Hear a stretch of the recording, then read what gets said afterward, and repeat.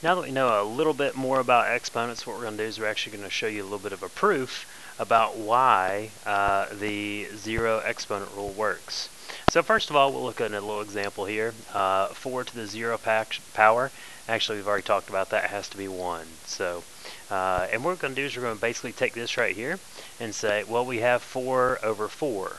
Well, we know what 4 over 4 is equivalent to. Obviously, 4 over 4 is equivalent to 1. But what we're going to do is we're going to basically go ahead and uh, manipulate this a little bit. So I'm just going to put equals 1 because we know it's going to be equal to 1. Anytime you divide 4 into 4, you get 1. What I'm going to do is I'm going to take this, I'm actually going to move it up here.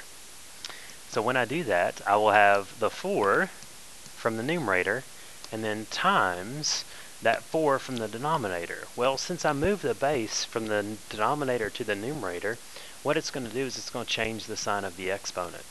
Well, now what I'm doing is I'm multiplying those like bases. So as you can see, we have 4 to the first times 4 to the negative first. So the base is going to stay the same, and what we'll do is we'll add our exponents together. And when you do that, you'll get 4 to the 0 power.